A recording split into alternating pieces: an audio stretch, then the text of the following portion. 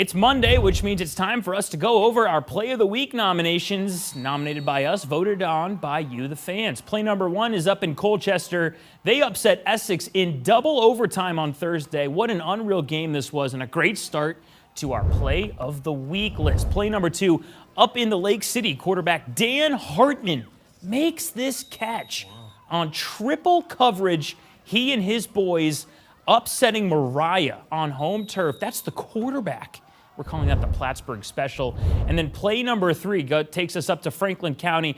It's the first touchdown of the year for BFA St. Albans, and it was done in style. Corey McNulty, look at this snag in double coverage, puts one mid on it, secures it with the second hand, and scrambles in for six points.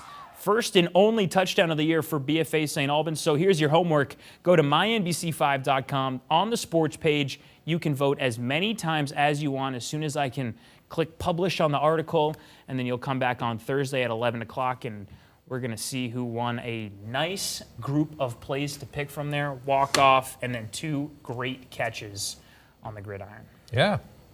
I just went to vote and it wasn't there. So Did you hear what I said? I have to did, go I and did. I click just had to publish. roast you. The, the polls have not opened yet. Okay. You, you got to wait till uh, poll, 11:42. poll worker Brian Colleran with the